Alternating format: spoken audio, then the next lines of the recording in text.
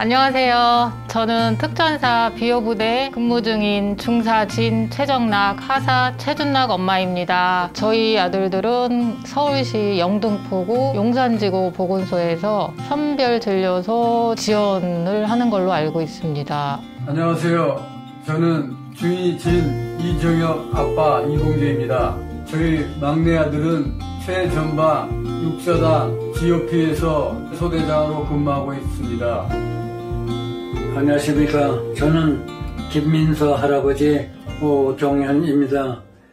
아들들 얼굴 안 본 지가 거의 뭐 4개월이 다 넘어가는데 많이 보고 싶죠. 보고 싶어 아들들 정락이 준락이. 어떤 부모든 오랫동안 아들을 못 본다면 보고 싶겠지만 국가와 나라를 위해서 근무하고 있다는 것을 자랑스럽게 얘기하죠. 나라를 위해서 설돈 지원하여 가지고 입대할 때 전쟁을 겪은 할아버지 대견하겠다고 느꼈습니다.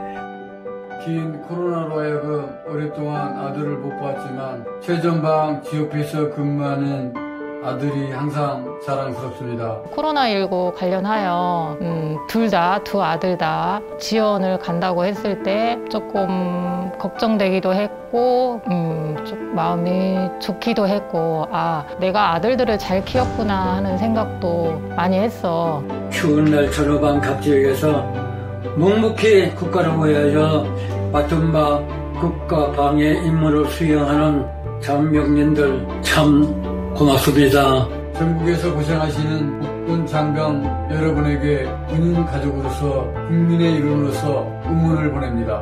아들들 힘들지? 힘들어도 조금만 참고 엄마가 집에서 기다릴게. 복귀 잘해서 멋진 모습으로 엄마 아빠 있는 대로 와 오면은 엄마가 꼭 안아줄게. 신축년세에 있는 여러분 가족 모든 친지들이 더욱 건강하고 맡은 임무수행 장소에서 뜻하는 모든 일들이 성취하는 뜻깊은 한 해가 되시기를 기원합니다.